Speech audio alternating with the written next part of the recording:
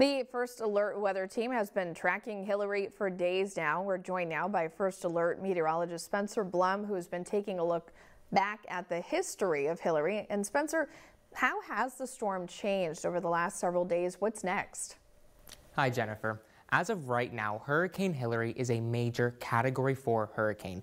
It has a central pressure of 948 millibars and has sustained wind speeds of 130 miles per hour.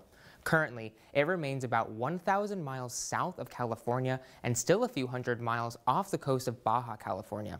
This is the video from Baja California today. You can see the weather beginning to get worse.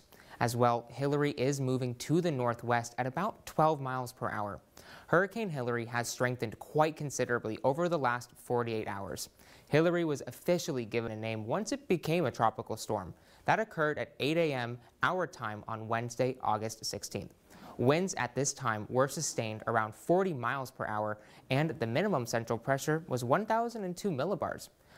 24 hours later, 8 a.m. Thursday morning, Hilary was a Category 1 hurricane with winds of 86 miles per hour and a central pressure of 980 millibars.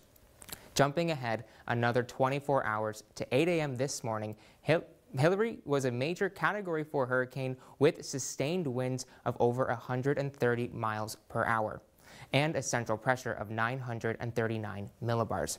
This is an extremely rapid intensification for a tropical cyclone. The reason Hurricane Hilary has been able to strengthen so much so quickly is because of warm ocean temperatures.